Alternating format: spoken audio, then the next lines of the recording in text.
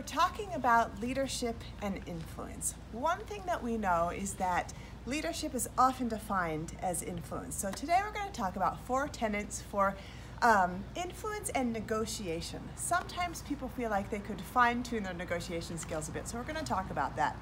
I want to give you an example. I'm in Phoenix, Arizona, and I was out for a jog there was a woman who was approaching me. She took out her earbuds. She gave me that look of, oh, we know each other. And I, but I thought, I don't know her. She took her earbuds out. Then she just had a really friendly and optimistic interaction with me, really quick, just like that, where she said, have a great day.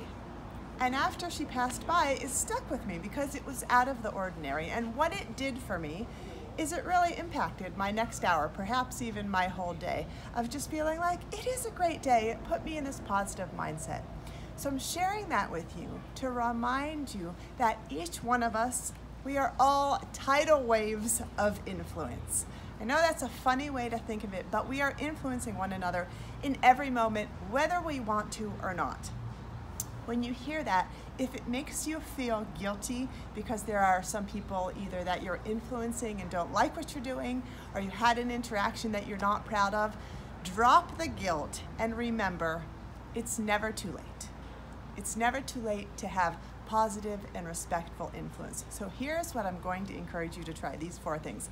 So the first one is to be clear on your intentions. What are you trying to do? Sometimes when people define influence, they mean I want other people to know I'm right and I want to be in charge. I want them to do it my way. So if that's your intention, you've got to change it because people will sniff that out in a second and they will often resist. So be clear on what you're wanting to do. The second is slow down and seek to understand what they want and why they want it.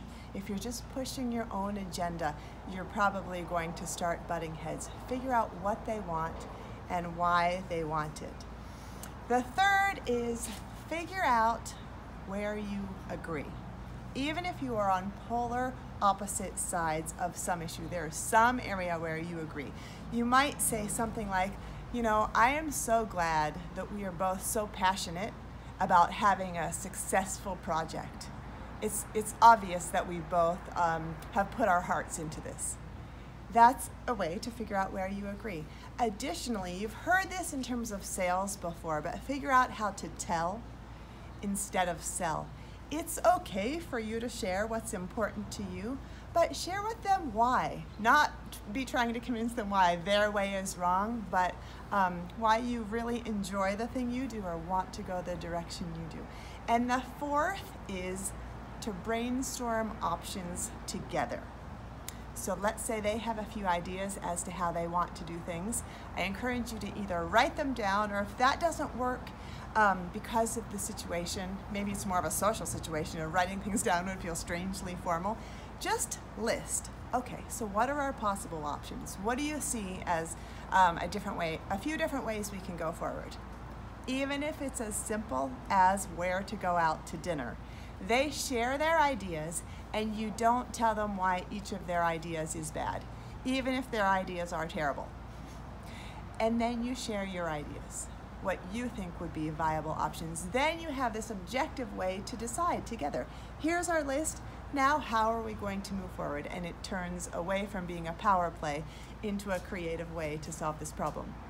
My name is Julie Lancaster with Lancaster Consulting, um, where we know that being a leader takes guts, and I applaud you for the great work that you're doing. If you want to learn a little bit more about how we might help you or, or find some other resources, go on over to lancasterleadership.com. Thanks so much.